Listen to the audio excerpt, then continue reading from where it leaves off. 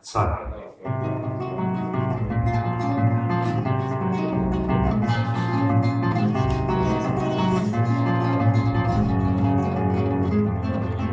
Czy jestem Sarą, czy gram Sarę? Odpowiedź znaleźć muszę sama. Nim wejdę w faraona, harem, by lud ocalić Abrahama. Nim władcę uwieść się postaram, tak by nie wiedział mnożąc dary, że żoną Abrahama Sara, Abraham mężem Sary. Czy spełniam tylko wolę męża, który z piękności mej korzysta?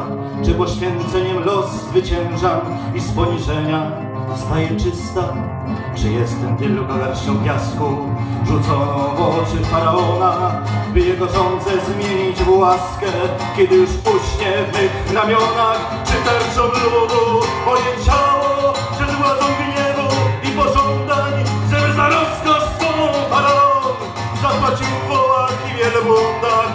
Jestem ciałem czy wyborem ogniem ci śluby ognia żarem i graszką losu, czy oporem? Czy jestem Sarą, czy gram Sarę? Gdy wrócę i przed ludem stanę, czy w twarz mi plunie, czy uklęknie?